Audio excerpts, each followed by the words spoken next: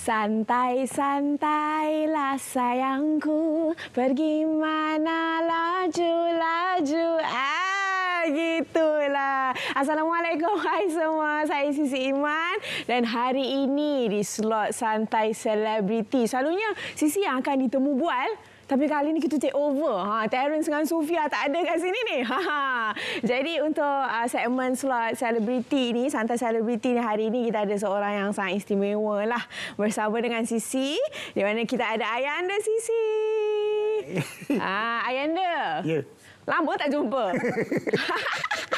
tak ada sisi sebenarnya datang ke RTM ni bersama dengan Ayanda. Ya, ya. Jadi macam tiba-tiba je Ayanda dah ada dalam set ni dengan Sisi. Itulah. Ha, macam mana tu Ayanda? Bidang terjun je ni. Ha, bidang terjun. Jadi hari ini kita sebenarnya nak berborak mengenai selebriti dan juga pendidikan. Ha, Ayanda. Ya. Ayanda ni sebenarnya merupakan seorang penceramah motivasi tau.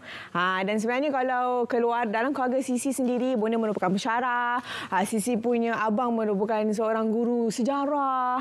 Adik Sisi pun penceramah orang kata Animasi. ah, animasi betul tak Ayanda? Jadi Sisi sendiri pun berlatar belakangkan seorang pendidik. Jadi Bonda- orang bonda- kata apa dia? Bonda persyarah kan? Ah ya, Bonda bersyarat. Jadi kita memang berlatar belakangkan seorang pendidik yang memang uh, orang kata di di apa yang dia?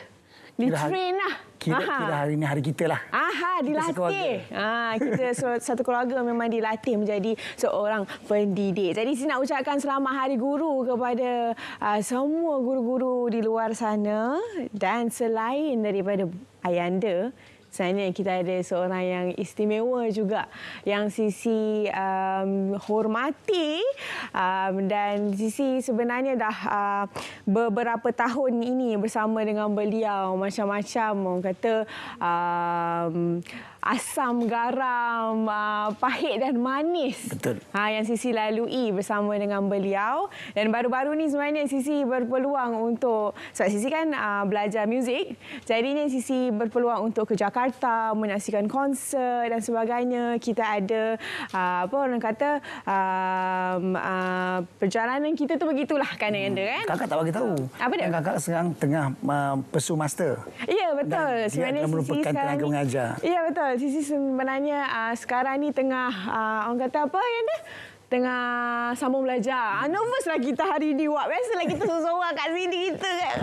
Aduh, cakap sini kan. Selalu ditemu duga. Apa dia? Selalu ditemu ha, duga. Selalu ditemu duga. ha, jadinya Sisi sebenarnya sedang menyambung pelajaran Sisi dalam ijazah sarjana pendidikan muzik. Jadi ha, rasanya dah ready dah. Ha, individu yang Sisi sebenarnya sangat-sangat excited untuk interview hari ini.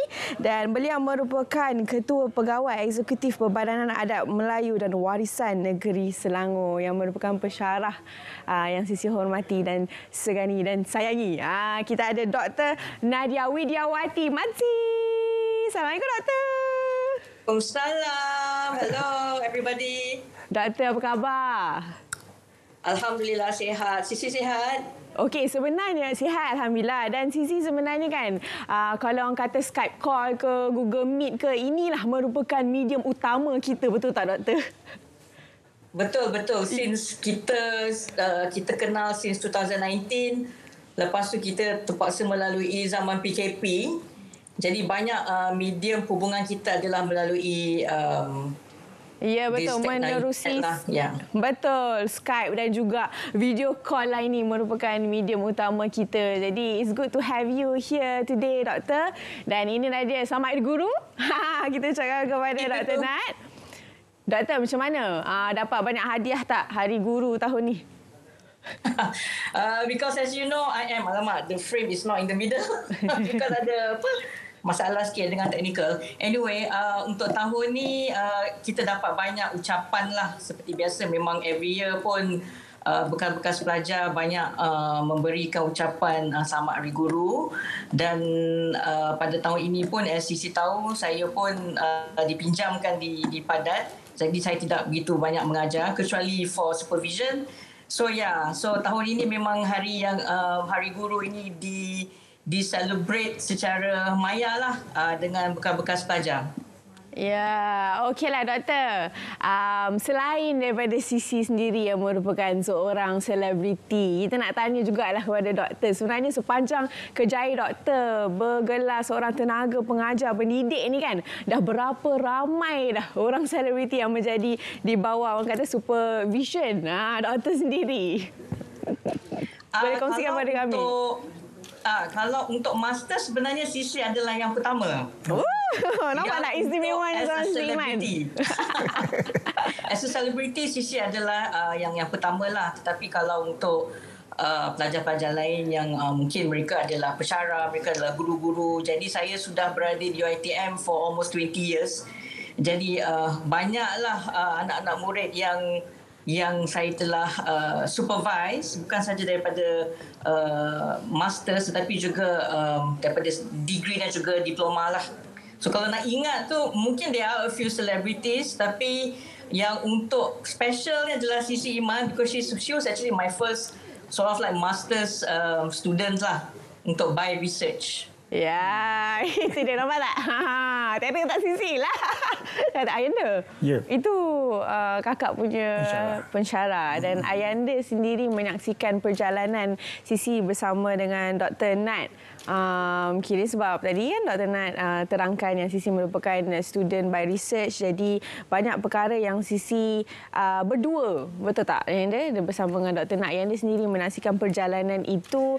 Dan Ayanda pun sebenarnya bila berjumpa dengan Dr. Nat banyak juga yang di banyak kita kongsikan, kan, Ayanda? banyak diperbualkan. Hmm. Uh, lagi lagi pun Sisi sendiri adalah seorang, seorang apa? Seorang guru, hmm. guru muzik kan. Uh, jadi memang apa yang dibincangkan dengan doktor tu memang apa apa uh, bersepadanan lah. Ya. Ah. Okey, Ayanda, kita nak tanya juga lah Dr. Nat. Tadi Dr. Nat mengatakan yang macam Sisi sebenarnya um, pelajar pertama beliau yang bergelar seorang selebriti kan. Mungkin nak tanyalah apakah cabarannya ataupun perbezaannya Doktor bila ada selebriti yang Doktor kena supervise ni. Macam tanya pasal diri sendiri pula kan. Tapi itu lagi katnya. doktor lah. Jadi macam mana mungkin pendapat doktor atau ada cara dan pendekatan yang berbeza untuk supervise ataupun mengajar seorang yang bergelar selebriti tu doktor? Okey, sebenarnya daripada segi supervision dia sebenarnya sama. Tapi saya saya hanya buat minimal supervision saja pada sisi sebab you know about master is all about reading. So she reads a lot dia banyak membaca. Dia ni bijak ni sisi ni. Dan jadi kita, kita sebagai supervisor kita rasa seronok lah. Maknanya kita hanya guide saja uh, pelajar tetapi sisi tahu apa yang dia nak So pada saya it's a kelebihan sebab Sisi walaupun dia selebriti tapi maknanya your research is also about something in the industry. Jadi dia ada that first hand experience. Ah jadi itu sebenarnya kelebihan uh, Sisi apabila dia membuat uh, research sebegini lah. Jadi nak kata difference tu tak ada difference sebab cara saya saya akan melihat kepada kekuatan seseorang pelajar.